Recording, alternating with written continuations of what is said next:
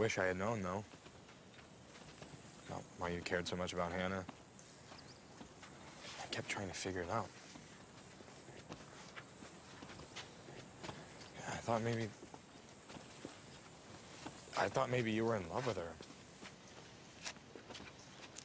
Clay, you know I'm gay, right? What? No, I didn't know that. How was I supposed to know that? I thought everyone knew it. I don't think everyone knows that. I think a lot of people know it. Wait, wait, wait, wait, wait, wait. Did you think that I was like just friends with Ryan? Well, yeah, I guess so.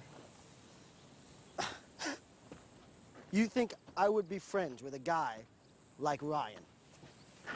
Well, I mean, I, yeah, I would think you would be, because apparently you went out with him. They're different things. Trust me. So that guy, Brad, you, is he your boyfriend now? I hope he's still my boyfriend. He's been pretty annoyed lately because I've been spending all my time with another guy. You. Oh, right. You mean with the tapes and all, not in a romantic way. Sure.